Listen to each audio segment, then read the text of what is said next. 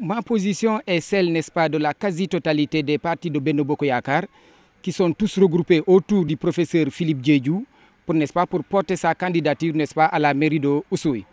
Donc, euh, nous sommes tous derrière lui, on le soutient. Et d'ailleurs, même le samedi passé, on a eu à, à tenir une réunion où toutes les, euh, tous les partis, n'est-ce pas, ont confirmé leur soutien au professeur Philippe Djedjou pour la mairie de.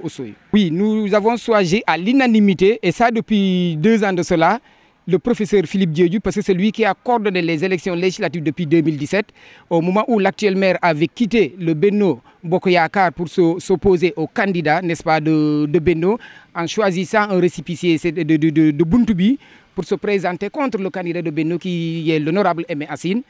Alors donc nous avons maintenu ce coordonnateur parce que c'est quelqu'un qui ressemble, qui, est averti en tout cas, euh, qui a en tout cas un esprit de développement.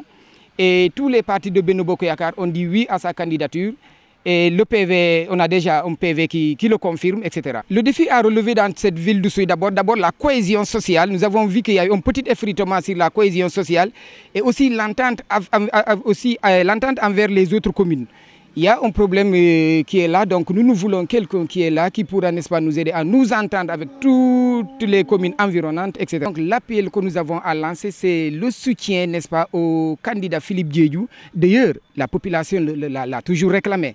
La population a réclamé, n'est-ce pas, euh, le professeur Philippe Diédiou, ce qui a fait que tout le Bénin à l'unanimité, n'est-ce pas, est derrière lui pour les séances-là. Donc nous lançons un appel à toute la population de Oussouy et aussi au président de la République pour que la candidature de Philippe Diédiou, n'est-ce pas, euh, soit validée. C'est-à-dire pour qu'il puisse respecter euh, le choix de Benno Bokoyakar au niveau local. C'est important.